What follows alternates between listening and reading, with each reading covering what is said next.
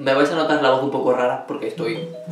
Joder, no me molesten nomás. Hola, yo soy Caos y bienvenidos al estudio catastrófico. Me vais a notar la voz un poco rara porque preferiría estar muriéndome que grabando un vídeo, pero no pasa nada. Hace unas semanas hice un reto que consistía en coger a dos personajes y fusionarlos, y dos personas me pidieron a Ariel con el Capitán Garfio. No fue una de las fusiones más votadas, pero sí que fue la que vi y dije, esto puede molar, esto puede estar muy guapo. Así que os voy a contar la historia de cómo Ariel sustituyó al Capitán Garfio. Como todos sabemos, Ariel se quedó a vivir con el príncipe Eric siendo una princesa en el mundo de los humanos, etc. Ese era como el final feliz que nos dio Disney, pero no nos contó lo que pasó después. Porque obviamente cuando te va bien en la vida pasa algo para que te vaya mal, y luego bien, y luego mal, a veces solamente mal, depende. Pues bien, en aquella época los humanos empezaron a obsesionar con cazar sirenas, y al primero que cazaron fue al rey Tritón, que intentó proteger a su familia, pero no lo consiguió, así que le cazaron. Después de eso, las hermanas de Ariel decidieron que no estaban a salvo en el mar, en el océano de los humanos, así que decidieron huir a otro sitio. Y se fue al país de nunca jamás. ¿Os acordáis de las sirenas de Peter Pan, que eran unas cabronas con Wendy? Pues son las hermanas de Ariel.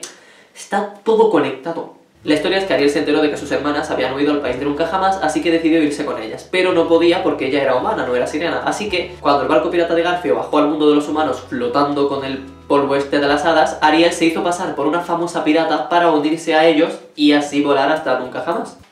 Vaya por Dios. Estuvo viviendo con los piratas y cuando llegaron a nunca jamás dijo, vale, Ahora estoy en Nunca Jamás, quiero irme con mis hermanas, pero no puedo porque no soy sirena todavía. Así que Ariel hizo un trato con la bruja de los bosques porque era más adulta, pero no más madura, eso está claro. Así que fue a la bruja de los bosques e hicieron un trato. Le dejaba ser sirena a cambio de algunos de sus recuerdos. Y Ariel pensó, bueno, que son unos cuantos recuerdos si al final yo voy a generar más recuerdos cuando viva con mis hermanas, ¿no?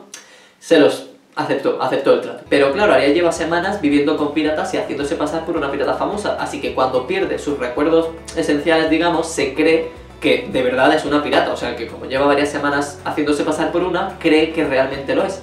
Así que mata al Capitán Garfio y sustituye, digamos, su puesto como capitana en, el, en, la banda pirata de Nunca Jamás. Sus amigos del mar, en plan Sebastián Flounder y toda esta gente, intentan ayudarla, pero ella los ensarta en su espada de pirata porque no sabe quiénes son ellos porque no tiene recuerdos de haber sido amiga de ellos. Y así es como Ariel se convirtió en la tirana de nunca jamás y gobernó todos los mares y tierras de ese mundo.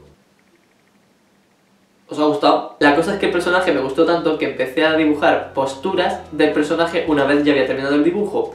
Pasó lo inevitable y es que hice una postura que me gustaba mucho más que la que he elegido para el dibujo definitivo. Algún día la terminaré o no, Probablemente no, pero bueno, yo os la dejo por aquí para que podáis comparar las posturas nuevas con la original. Y este es el resultado final de la pirata Ariel, tirana y gobernante de las tierras de Nunca Jamás y los mares de Nunca Jamás. Y todo lo que hubiera Nunca Jamás.